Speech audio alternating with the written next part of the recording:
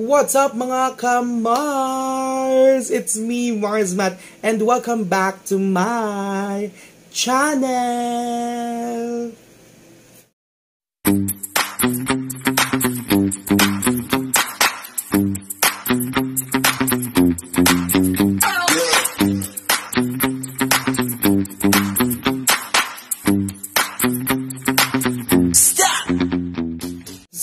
Nga mga kamars. Once again, my name is Mars Matt and I'm from Boom Reacts. And for today's video, pag-uusapan nga natin ang Mistress of Filipinas 2022. Yes!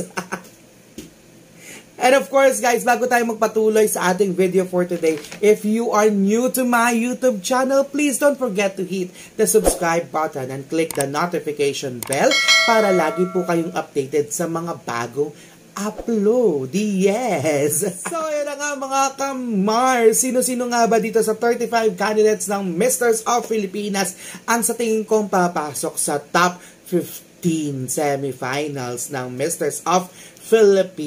Yes! Oh my God! Naganap na nga po ang kanilang uh, preliminary competition last Monday. Yes. last Monday dito nga po sa Winford, yes. And in fairness sa mga candidates, ang gwa-gwapo, in fairness, and talagang pinaghandaan nilang mabuti itong preliminary competition. Paano ba naman kasi? ba? Diba? Dito talaga kukuha ng semifinals. Oo nga, di ba? And of course, no, the stage, oh my God, ang ganda ng design ng stage, in fairness. Wala naman ako masabi sa stage decoration, walang tulak kabigan dito sa stage decoration. However, ayan, oh, ito na nga tayo dito, no? Ito lang naman ay aking opinion, no? For me, medyo nakulangan ako sa runway. Oo. Sana medyo nahabaan yung runway. Ayan, kasi, um, you know, mas mas mas showcase kasi ng mga candidates yung ano nila, yung sarili nila with regards sa runway eh, 'di ba? Doon mo talaga makikita kung paano talaga magaling magdala ang isang candidates eh. 'di ba? So sana sana pagdating sa final round eh mahabaan nila yung runway ng mga candidates. 'Di ba? Para laban na laban talaga at makita mo talaga, 'di ba? At may exposure talaga yung kanilang sarili dito sa competition. Yes. No, so sana no ma- marinig ito ng ating mga organization no na mahabaan ng kanilang pasarela. At the same time, no um for me medyo ako na medyo nakulangan ako sa music. Oo. Yung music musics, yung music choice, no. Sana medyo naging upbeat ng kahit papaano, no. Kasi sana naging hype ng konti, no? Para at least kita paano naman, hindi naman siya yung tipong nakakaano, nakaka as in bored, nakaka-bored ng, ng may time na nakaka-bored talaga yung competition because of the music. Ayan, so sana marinig din ng ating organization yung music choice, no? So sana medyo maging upbeat pagdating ng final nights. Yes! Oh my God! So this is it, guys. In fairness, ang gusto ko dito sa preliminary competition is yung kanilang um, formal wear. Oh my God, I like the formal wear. As in talagang pare-para silang white. Oh my God, talagang gusto-gusto ko pag may white category or may white part sa competition ng pageant, no? Kasi talagang makikita mo yung ano, yung yung kagwapuhan. Nakita natin yung kagwapuhan ng mga candidates. In fairness, at the same time, ano, talagang fit na fit sa katawan nila yung ano nila, yung formal wear. Oh my God, plakado, ang ganda, ang ganda nung ano, nung um, formal wear. Tapos, isa rin sa mga highlights o nagustuhan ko dito sa competition ng preliminary nila is yung fashion. Oh my God, ang gaganda ng mga ano nila, ang gaganda ng mga anong tawag dito? Nung mga suot nila dun sa fashion category na yon. In fairness, plakado ha. However, medyo ano lang, nauuyan na ako sa sobrang dami ng may mga pa-strips, strips na yon. Oo, so sobrang dami ng mga pa-strips. Medyo nagsawa na ako sa iba. Oo, ayun. So tiningnan ko na lang kung paano sila magpasarela, kung paano nila dinala yung strips-strips na yon. Yun na lang, yun nga, dahil niya sa sobrang liit lang ng pasarela, hindi masyadong na-showcase yung ganong eksena. Kaya, yun nga, sana nga makita na organization yung ano, yung pasarela. Sana mahaba ng konti, no? Para naman ma-showcase talaga ng candidates sa sarili nila. At the same time, yung suot-suot nila, ba? Tapos, yung mga swimwear naman, effect din naman. Effect yung pa-cape, in fairness. Mas gusto ko yung pa-cape kumpara noon sa ano, dun sa swimwear competition nila, yung medyo, alam mo yung para siyang suot, tapos, plak, tapos naging cape. Ayun, medyo ano lang ako doon. Mas gusto ko yung ito, dito sa preliminary competition na cape na lang siya. Well, hindi na yung suot at tatanggalin kasi medyo hassle yon di ba? Nakita natin ang dami nag-struggling na mga candidates dun sa pagtanggal ng ganon. Di ba? Most especially si CDO, struggling hanggang sa naglakad siya nandoon sa paa niya yung, di ba, yung green na yon So, medyo ano ako doon. Medyo hindi ko nagustuhan yung ano doon, yung swim, swimwear competition nila doon sa, saan ba yung Kalira, ano? Basta yun na yun. Oo, doon sa lugar na yun. Ayun. So, okay din naman. Oo. Ako ever, sana medyo maiksi ng konti. Ah! Pero in fairness, ang ganda, ang ganda ng mga swimmer comp, yung swimwear nila, ang ganda rin naman, in fairness, effect din naman. So, yun na nga, no? Sino-sino nga ba ang talagang umangat at talaga namang masasabi kong pasok sa semifinals ng Misters of Filipinas. Ayan, umpisa na natin sa number 15 spot. Ayan, we have um, Filipino Community of USA na si Jake Acedo. In fairness, no, consistent ang kanyang galawan dito sa Misters of Filipinas. Masasabi ko talagang papasok ito sa mis sa semifinals ng Misters of Filipinas. However, sana ano lang talagang iangat pa niya yung sarili niya, talagang bonggaan pa niya yung sarili niya kasi for sure kapag binonggaan pa niya yung sarili niya, papasok pa to sa susunod na round. Yes, itong si Jake Aceto. In fairness talaga dito. And gusto ko yung ano niya ha, yung aura niya, yung aura niya na as in good vibes, lagi nakangiti. Paglabas mo pa lang nakangiti na siya. Oh my God, ang ganda nun. In fairness, plakado yon Yan. For number 14 spot, we have Malolos Bulacan na si Joel Enrique Alejandro. In fairness, sobrang nag-improve. no? Kasi nakita ko siya talaga during the uh, callback as in super plain ako sa kanya no? Sa ngayon talagang medyo effect na talaga siya. At talagang masasabi mong ano um, plakado na no? Uh, natanggal niya na yung pag ganun-ganun niya. Oh my god gusto ko yon natanggal niya yon kasi talagang it's a no-no for me yung gaganon ka ng eksena no? Kasi ha bakit ka gaganon? It's a competition hindi mo dapat i-showcase sa kilikili mo kasi hindi mo panlaban yung kilikili mo. 'Di ba? 'Yun. So in fairness, ang ganda ng mga projection dito ni ano ni Joel Enrique Alejandro. In fairness, 'yan. Ang ganda din. Tapos yun nga sabi ko nga sa inyo no nung nung, nung nag ano ako, nag-reaction ako do sa fashion show nila. Talagang nakikita ko yung vibes ng Neil Perez sa kanya. As in, talagang masasabi kong ano, um, pag naglakad siya para siyang Neil Perez. I don't know For me lang to ha, pero I don't know to you guys. But yun yung nararamdaman ko kay uh, Malolos Bulacan. Kung talagang iaangat pa niya yung sarili niya at talagang bibigyan diin niya yung sarili niya at talagang i-focus yung sarili niya dito, for me, possible na mag-title itong si Malolos Bulacan. Yes. Number 13 on my list is Mr. Mr. sa Pilipinas, South Cotabato na si Charlie Sukal dito. In fairness dito kay South Cotabato, no? Talagang for me, from the very start ng competition, for me, it's a plain plain para sa akin yung kanyang performance dito sa ang tawag dito dito sa national costume nila. Tapos nag ah uh, pag ito yung swimmer competition no eto talaga nakitaan ko talaga si Charlie dito sa sa ano sa preliminary competition na as in talagang wow.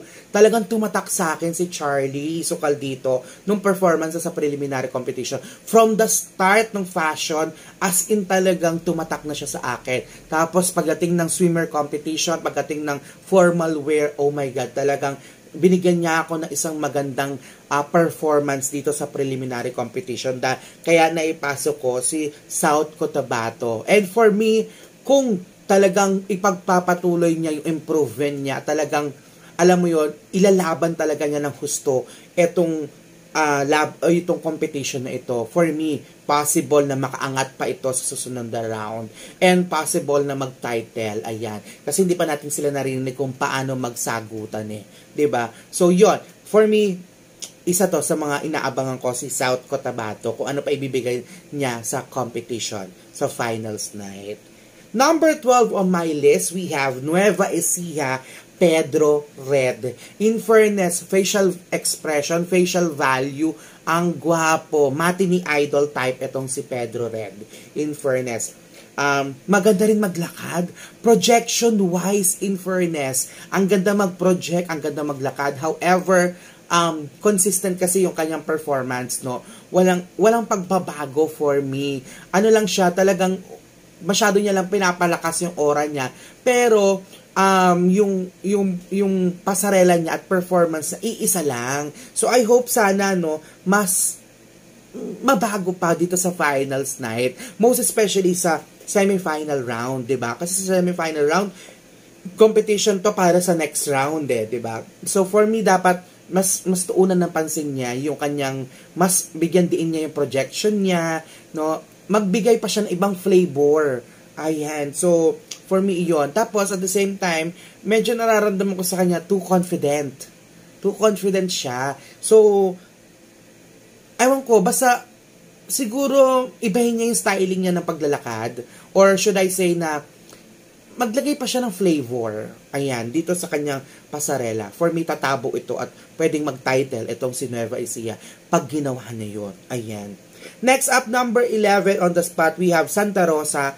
Uh, we have Isaac Barlao. In fairness, dito kay Isaac. However, medyo nakukulangan na ako sa kanya. Oo, parang nawawala na yung hype ko sa kanya. Oo, I don't know. But of course, pasarela-wise, ang ganda rin naman talaga magpasarela ni Isaac no for me nagbabago siya ng styling no nagbabago siya ng eh, styling maganda yon maganda yon nag, nagbabago-bago siya ng styling however I don't know hindi ko lang talaga masyadong gusto yung styling niya during the preliminary competition siguro uh, medyo nag dark yung itsura niya dun sa ano niya dun sa styling niya. So sana uh, isip siya ng iba pang styling na mag-blow up yung kanya itsura. Ayan, medyo for me nag-dark yung itsura niya dun sa sa preliminary competition eh. So yun, buti na lang na idaan niya at nairaos niya sa pasarela niya at projection niya, ba, ng bawat categories kasi kung hindi talaga niya na i-project ng maayos, hindi na talaga nailakad ng maayos, wala, liligwak talaga siya dito sa competition. Pero isa ito sa mga nakikita kong advantage din ni ni ano eh ni Isaac, yung pasarela niya.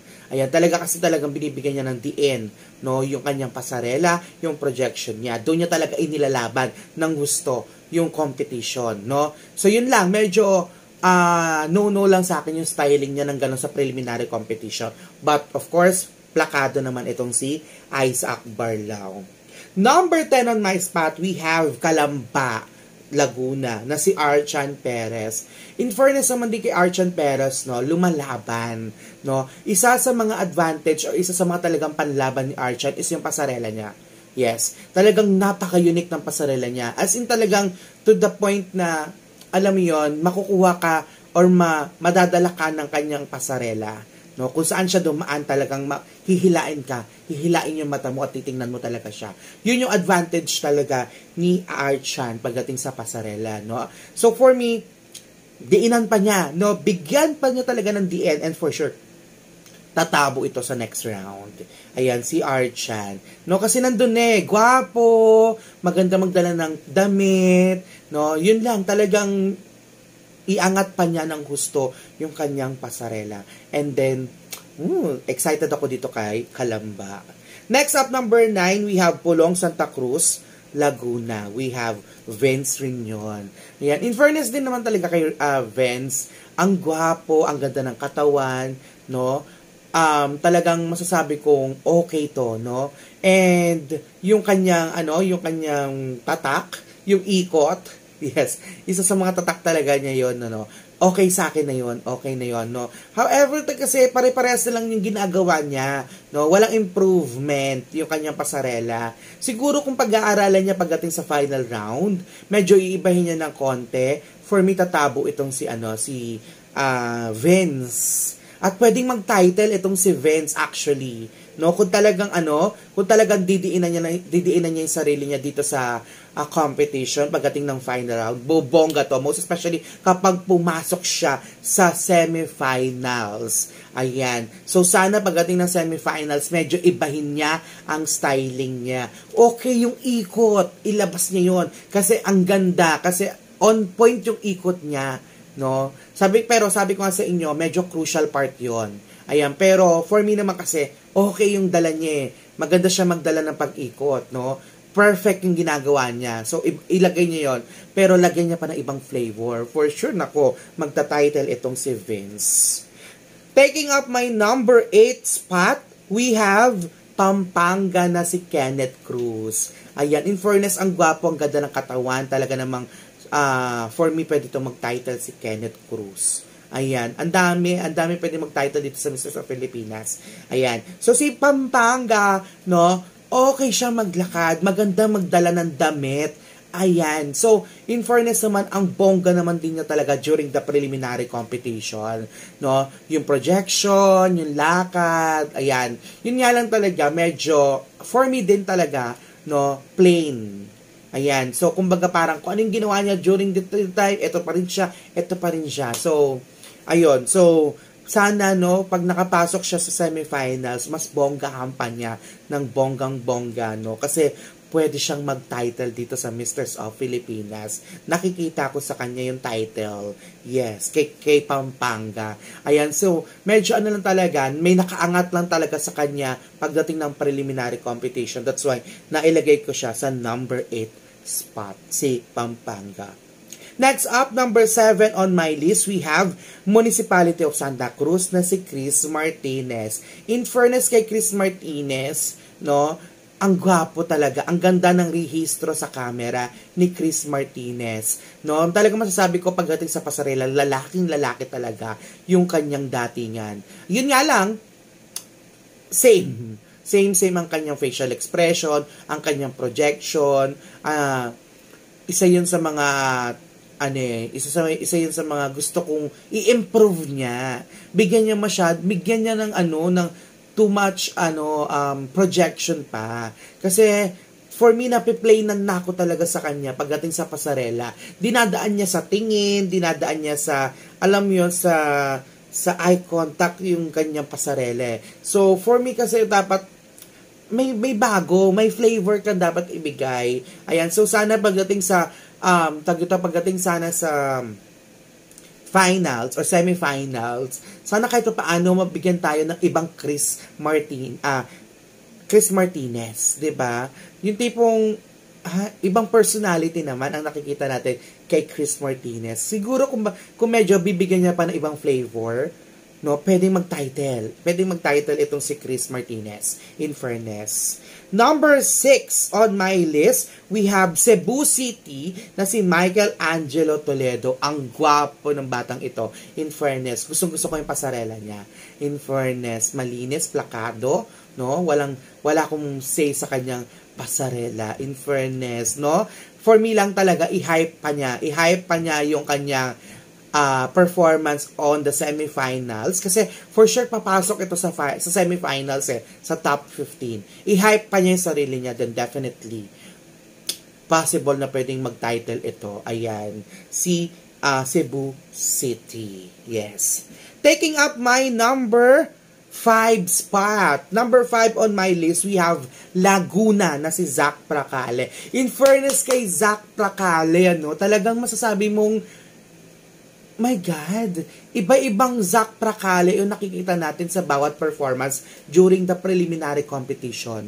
Iba't ibang uh, attitude ng isang Zach Prakale, yung nakita ko.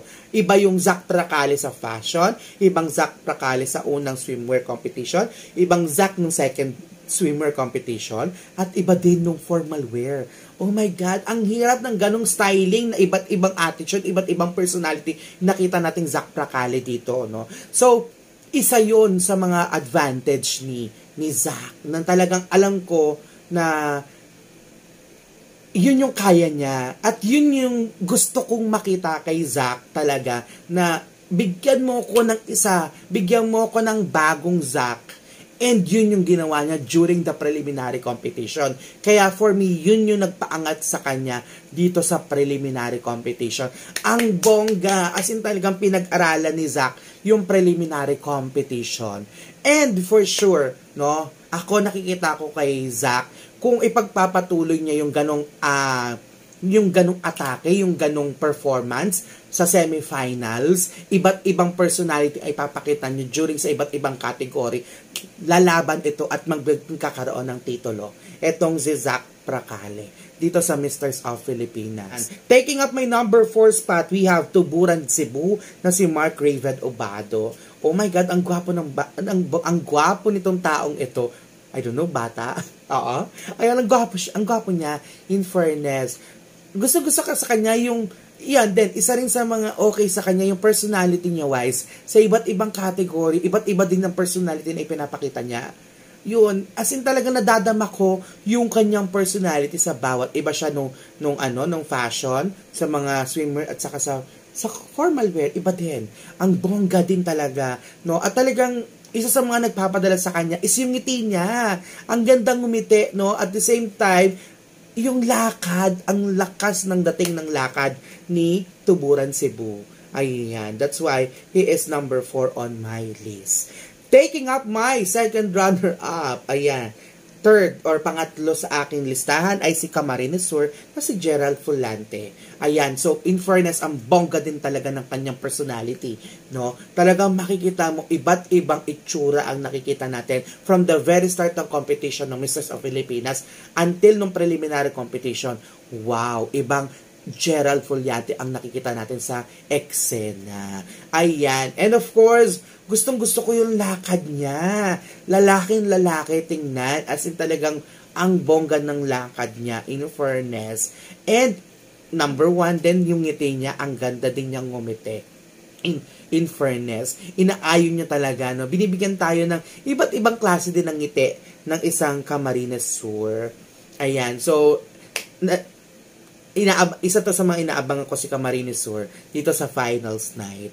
Ayan, next number 2 on my list we have Ormoc City na si James Vidal. Oh my god, ang gwapo ng batang ito. Oh. In fairness, isa to sa mga feeling ko talaga magta-title. Ayan, title holder talaga ito. Title material talaga itong si Ormoc City. Number one, pasarela wise. In fairness, talagang makikita mo he really enjoy it. Talaga makikita mo yung enjoyment sa kanya.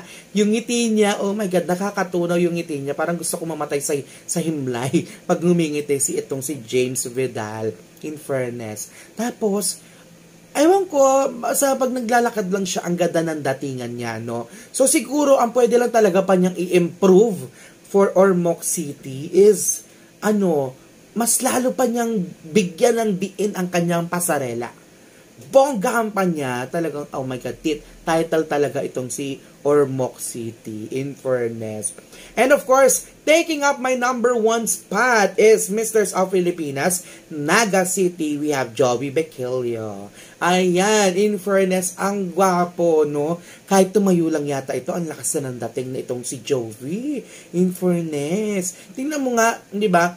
Dito lang sa kanyang fashion. Ang simple lang ng fashion niya, pero naidala niya ng bonggang-bongga. Ang ganda ng pagkakadala niya dito sa fashion. Ayan. So, medyo mababa lang talaga yung ranking ko sa kanya. Pero, ang ganda ng datingan niya.